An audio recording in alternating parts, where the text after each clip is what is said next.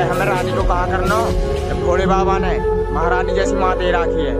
अल्लड़ पल्लड़ समझ रही हो? मेरा बचपन बीते आज थे।